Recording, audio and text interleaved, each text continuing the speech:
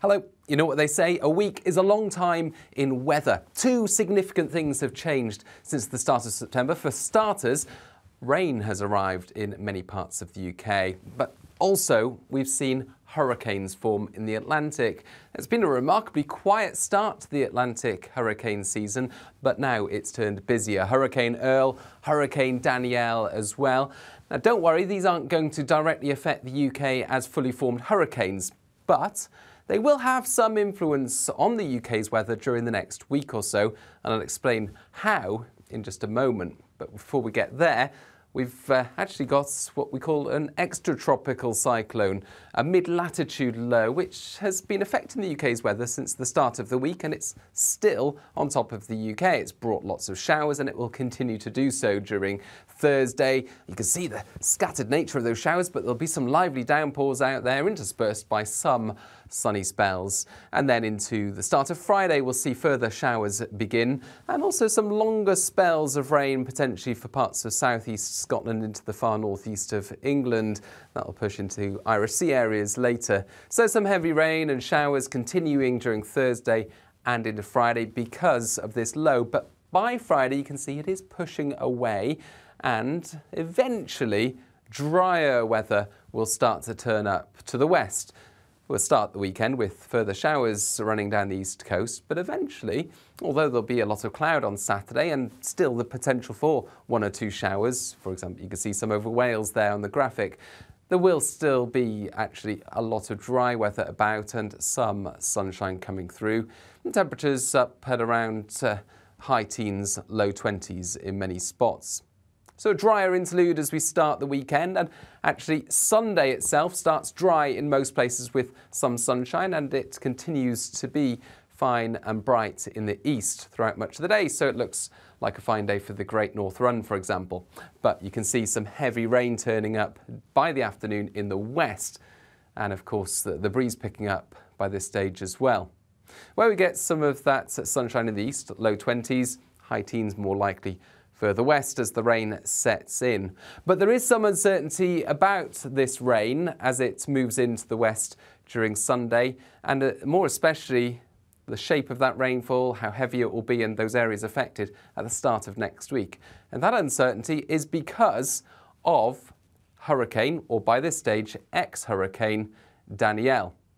And to explain why Danielle is causing a bit of a headache with meteorologists, we need to rewind the clock to the time of recording and see Danielle as it stands out in the Atlantic, still a hurricane. But overlaying the jet stream, you can see it's about to be picked up by the jet stream. It's about to undergo what we call extratropical transition, so transition from a hurricane to a mid-latitude area of low pressure.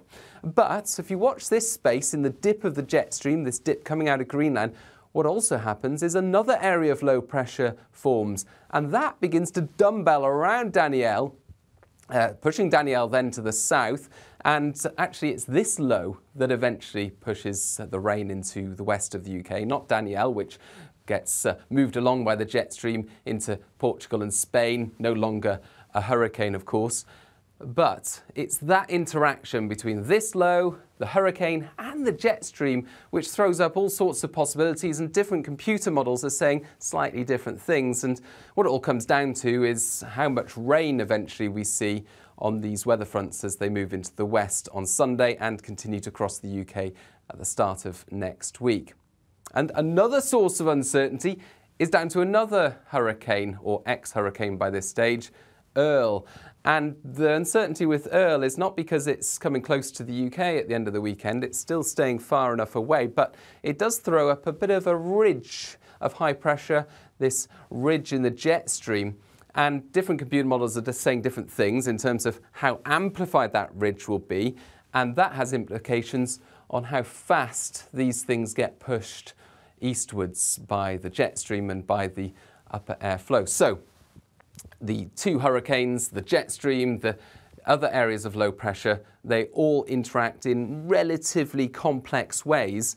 that leads to some uncertainty about how wet it will get in the west and then elsewhere during the start of next week. And it does look like there'll be some heavy rain as these fronts cross the country during the start of next week because, of course, that rain is being fed by tropical moisture. So there's a lot of warmth and humidity tied up in this system wrapped around Danielle. And that means that, especially over Western Hills, there could be some very soggy weather for Sunday and into the start of next week and some heavy rain elsewhere as it crosses the country.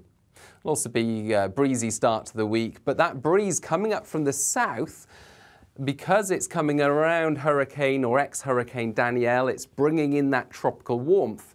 So actually, for the start of next week, could look quite warm, especially in the east if we get some brighter spells. You can see that on the temperature trend graph for the south and for the north. The temperature trend looking around or just above average through the weekend, and then this uptick around Monday, Tuesday. Although a lot of uncertainty with these boxes, these are the maximum temperatures each day.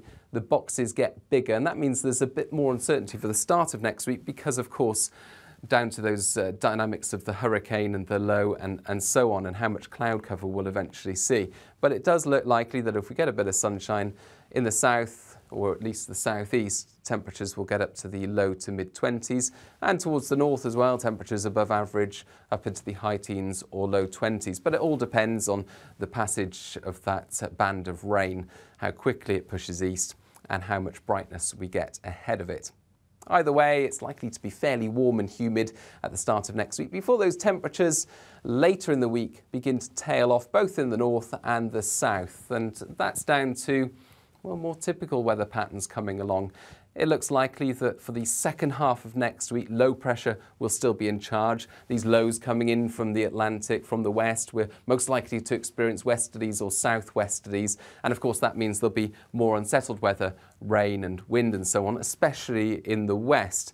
We could even see the remnants, and by this stage, they will really be remnants, so just bits of rain coming in from ex Hurricane Earl. So that's the second half of next week. But either way, whether we get the remnants from that hurricane or whether it's just other areas of low pressure, the weather is likely to look very similar with areas of low pressure, wet, especially towards the west, and those outbreaks of rain clearing to showers and some brighter spells at times as well. So, in other words, it looks pretty autumnal during the next 10 days. There'll be some heavy rain at times, especially in the west. It'll be breezy, but it'll also be warm in any brighter spells.